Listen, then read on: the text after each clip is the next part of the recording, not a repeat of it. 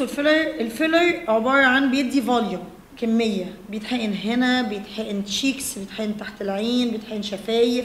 فيلر البوتوكس بقى بيتحقن هنا حوالين آه، في القوي عشان lines around eyes لو الناس عندهم بتعرق كتير يتحقن في الإيد يتحقن في قدم الرجل يتحقن under arm اللي هو في الب- الباط. بس ما فيش حاجة اسمها تجميل الأنف بالليزر.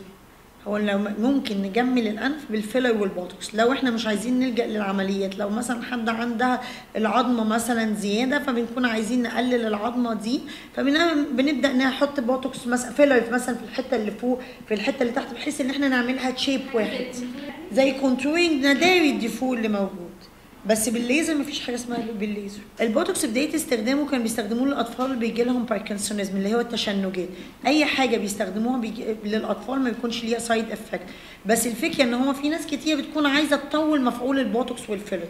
عايزة تخلي البوتوكس مثلا يقعد معاها أطول آه نبدا نحافظ على ده. فده ممكن نقدر نستخدمه. وده دايما بقول للناس استخدموه.